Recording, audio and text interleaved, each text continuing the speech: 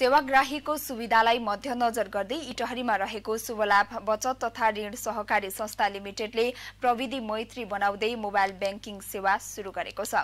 मोरङको लेटाङमा शुभलाभ बचत तथा ऋण सहकारी संस्था लिमिटेड इटहरीले आयोजना गरेको एक कार्यक्रममा मोबाइल ब्याङ्किङ सेवा शुरू गरिएको हो।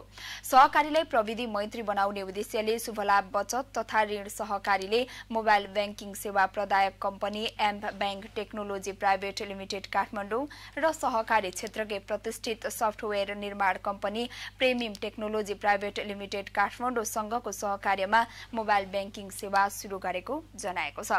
मोबाइल ब्याङ्किङ सेवाबाट ब्याङ्कबाट सहकारीमा रकम ट्रान्सफर गर्न सकिने सहकारीबाट ब्याङ्कमा रकम ट्रान्सफर गर्न सकिने खल्ती ई सेवा प्रभुपे क्युआर विद्युत महसुल भुक्तानी हवाई टिकट बुकिङ गर्न सकिने सो अवसरमा सहकारीका उपाध्यक्ष दीपक थापाले जानकारी दिनुभयो। कार्यक्रममा सहकारीको नयाँ कार्य समितिले पदस्थापना समेत गरिएको थियो। हालै सम्पन्न भएको सहकारीको साधारण सभाले दीपक पोखरेलको अध्यक्षतामा नयाँ कार्य समिति चयन गरेको थियो। नयाँ कार्य समितिको उपाध्यक्षमा दीपक थापा रहनु भएको छ। सदस्यहरूमा स्वागत श्रेष्ठ उमानाथ दाहाल रूपनारायण भट्टराई पवित्र कुमारी घिमिरे निरौला र पवित्रा शर्मा घिमिरे चयन हुनु भएको थियो।